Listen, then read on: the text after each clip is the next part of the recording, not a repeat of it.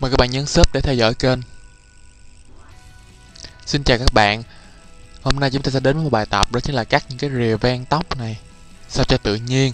Thì khi, ví dụ như chúng ta muốn thay cái nền cho cái cô gái này á, thì chúng ta, nếu như chúng ta dùng mà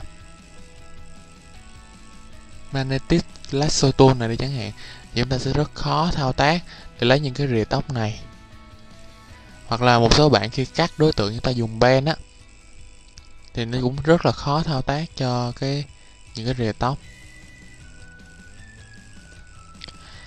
và hôm nay mình sẽ hướng dẫn các bạn một công cụ khá là đơn giản. Thì nói chung là nó có nhiều cách để cắt đối tượng. Cắt cái rìa tóc này, nhiều cách rất là hay, nhưng ở đây mình sẽ dùng cách đơn giản nhất. Đó chính là background eraser tool để chúng ta cắt cái rìa tóc rồi các bạn sẽ lít thử. Ở đây nó sẽ lấy cái lần lít đầu tiên nó sẽ lấy được cái màu nền là cái màu trắng ngà này lần lít đầu tiên. Thì những lần sau các bạn sẽ lít vào những cái điểm có cùng màu như vậy. Ví dụ như uh, trong cái kẻ tóc này nè chúng ta sẽ lít vào cái vùng có màu nền.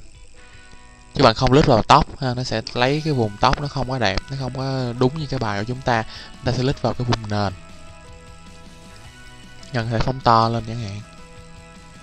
Và quan sát dấu cộng ở giữa cái tâm các bạn thấy không? Cái dấu cộng ở giữa cái tâm tròn này nè, thì chúng ta sẽ lít dấu cộng vào những cái vùng cần xóa nền.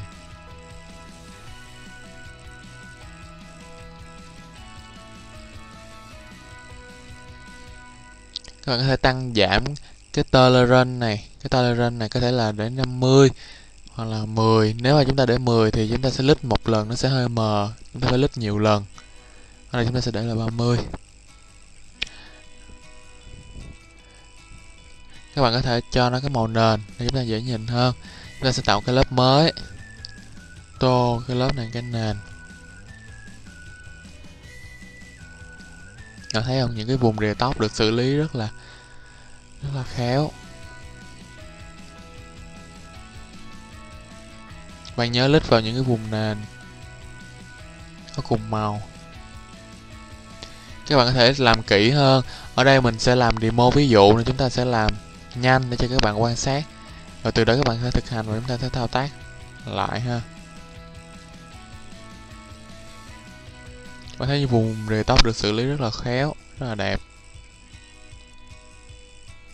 Thì ở đây chúng ta thấy là có rất là nhiều cách. Nhưng chúng ta dùng cách này thì nó cũng khá là phổ biến, khá là thông dụng.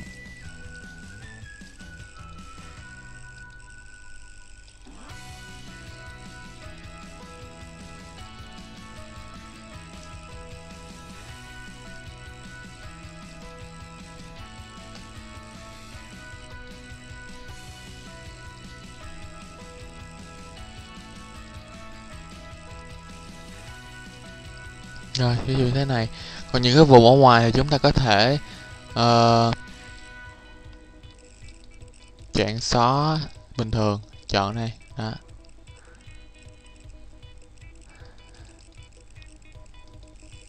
Chúng ta có thể bỏ luôn cái nền này đi.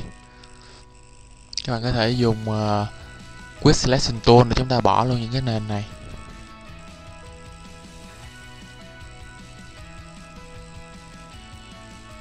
Rồi, chúng ta vừa thao tác các cái viền tóc. Bước tiếp theo, bước này là chưa xong, chúng ta sẽ tiếp tục bước tiếp theo. Chúng ta sẽ Ctrl G nhân cái lớp này lên làm hai lớp. Tắt cái lớp trên đi, chọn lớp dưới. Chúng ta sẽ chọn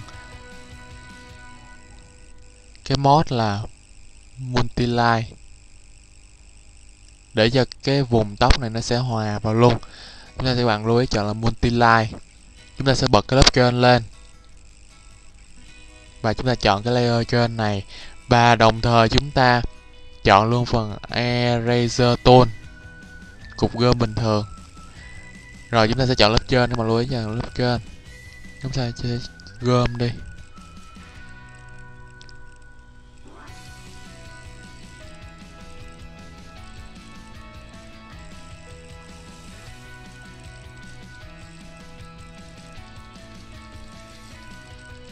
mình sẽ xử lý bước này.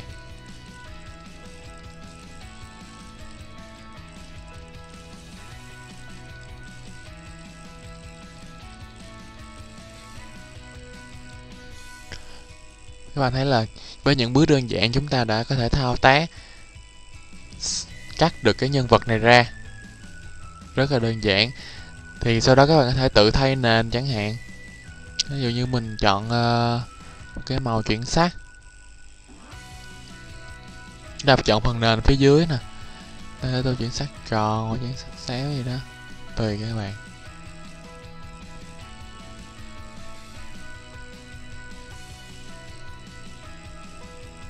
Chúng ta có thể dùng gom qua những phần này đi. Những phần này chúng ta xử lý còn sót lại đó.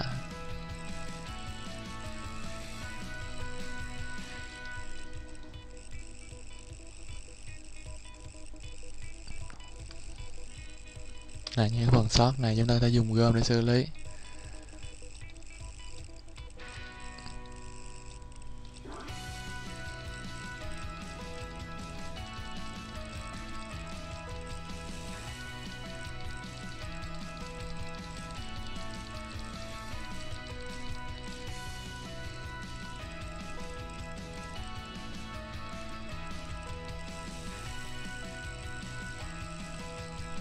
Bước tiếp theo, các bạn có thể trang trí thêm dù mình chọn cái nền này, cô gái đang ở trong rừng. Nó sẽ bát ra.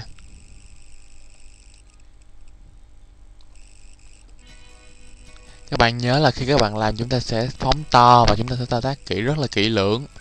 Ở đây mình sẽ thao tác đơn giản để các bạn có thể nắm được cái bước chúng ta làm. Và bài tập của chúng ta là tương đối là rất là ổn định. Chúng ta sẽ trang trí thêm.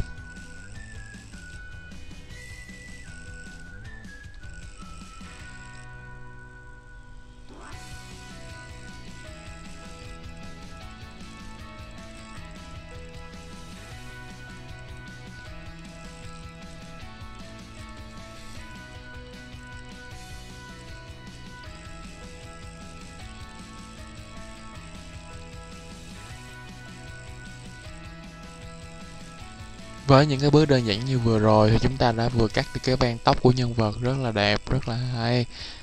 Và với cô gái xinh đẹp này thì khỏi phải chê. Thì vừa rồi chúng ta đã hoàn thành xong các bước cơ bản để cắt những cái viền tóc nhanh nhất và gọn nhất. Và chúc các bạn thành công trong cái bài tập nho nhỏ này. Và hẹn gặp lại các bạn trong những bài tập tiếp theo.